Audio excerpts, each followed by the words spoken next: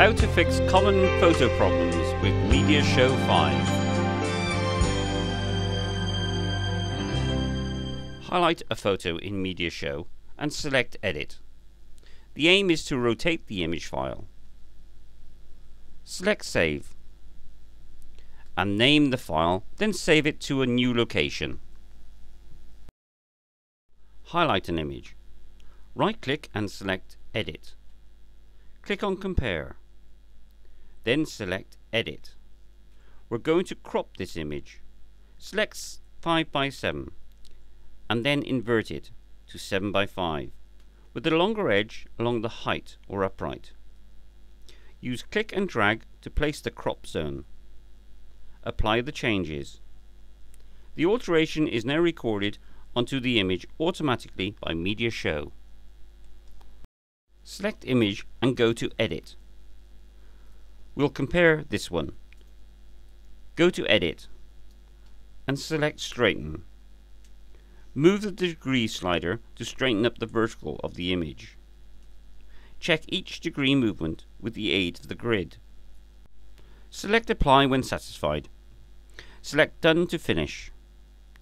Next we're going to select the Edit log. We're going to check the original. First undo the Compare feature display as it is not needed. In Edit log, select Original and View. Then reselect Straighten. Click Done to complete. The photo has been edited by MediaShow and saved.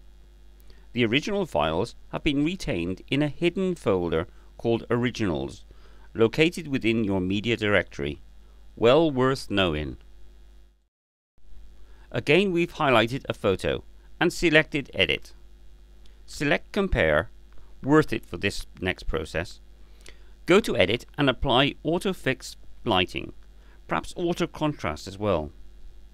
Check what you've applied. Select Edit Log. Undo Auto Light once and Contrast. Click Done to finish. Before and after shots clearly shows the change. Select Back to return to MediaShow Image Library. Next, let's sort out a red eye situation. Right click Select Edit. Select Compare. Click Edit. Now select Red Eye. Read the instructions. Select Auto and apply the change. Click Apply and Done to complete. Select a photo and choose to apply multiple fixes. Auto Fix Lighting and Auto Contrast. Compare before and after. Select another image. Select Edit. Select to make changes manually. Move the sliders to alter the photo. Select Compare. We've now fine-tuned a photo. The one on the right, the after photo, looks great. Select another image. Rotate it. Select Edit. Add an effect. Compare the effect before and after. Select Antique, make it look old. Give a tint. Apply a colour. Increase or decrease the intensity. Apply, or not. Add a glow. Check the changes. Click the Edit log. Select Undo any changes you want. Apply manually. Move the sliders. Click Done if happy with the photo.